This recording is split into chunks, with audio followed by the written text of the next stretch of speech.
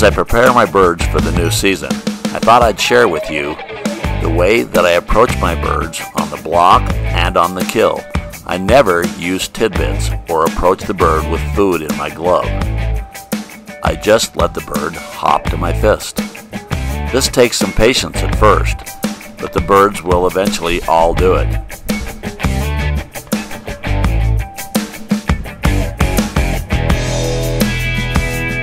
None of these birds have ever been called to the fist for food. I'm flying three Gyr Peregrine Tiercels, all chamber raised. Badger, 6th season, DC's 10th season, and Xander in his 17th season.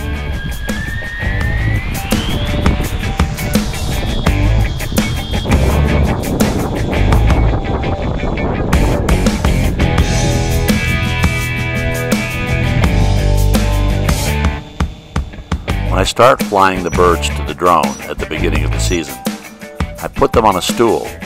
This way they feel comfortable. They can rouse, mute, and then they go to the drone.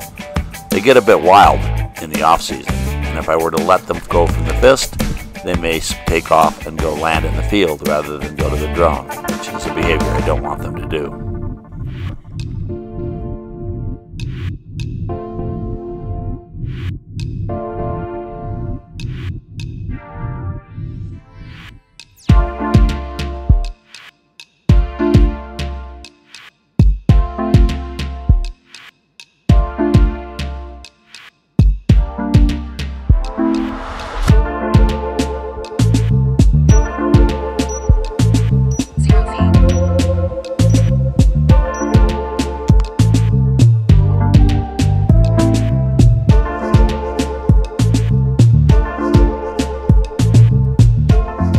When I approach my birds after they have taken the bait on the drone string, I roll up the parachute and then offer my fist. The birds jump to the fist with the food. Again, I never have food in my fist to call the bird to my hand. I never approach a bird with food in my hand, whether on a kill or on the lure. Feeding a bird on the fist is an art and is developed with experience over time. It's tough to teach experience, but I can give you a few pointers. Always hold the food firmly between your thumb and your index finger. Be steady. It's all about the dining experience. If you should be feeding something small, like a sparrow, it can be just given to the bird and let it eat it on its own. But larger pieces of food, sometimes the birds will grab them with their foot and not feel comfortable trying to eat with the foot wrapped around the food and will may, and may try and bait. I always hold the food firmly between my thumb and index finger.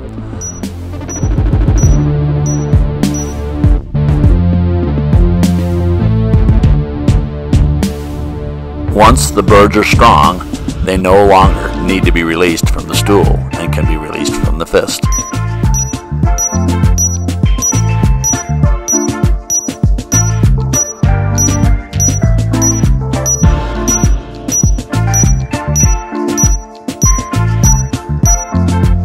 Never approach my birds with a piece of food in the glove. They resent it. It would be like going out to a fine restaurant. The waiter reaching down and touching your meal. Once the bird has eaten the head and neck of its quarry, I hand them a plucked sparrow as a trade-off.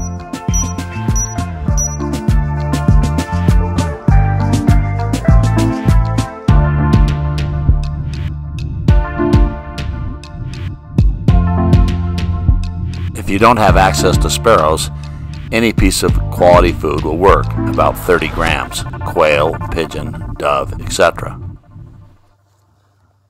While the bird is eating the sparrow, I viscerate the grouse and give the entrails to the dog, who loves them.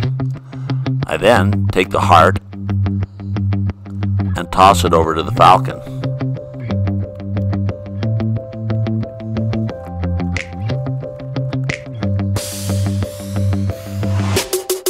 Remove a leg from the grouse and have it ready for the falcon once it jumps to the fist.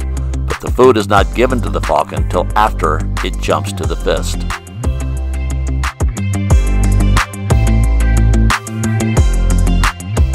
Remember, this is just how I do it. It doesn't mean that it's the right way to do it, but it has worked well for me. When the bird jumps to the fist, let it calm down for a few seconds. Don't give it its meal immediately. Keep its meal hidden behind you in your free hand. Once the bird settles down a bit, then give it the meal. If you give it to it immediately, the bird will be aggressive.